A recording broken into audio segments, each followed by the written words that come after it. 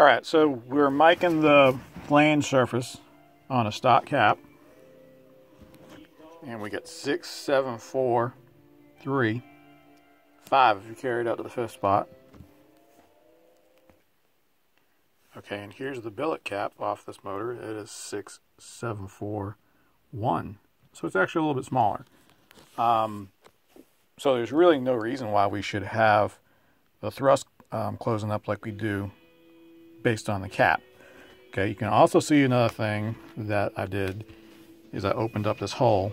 It's bigger than stock. That helps the cap center. So it's really simple that it's just this bearing flange is just a little bit too fat. Uh, it may have to do with the way it crushes or whatever, but we're just going to lap this bearing flange down and get our thrust to match the lower, and it will be just fine. So that's the solution. A little bit of information. That's my way of doing it.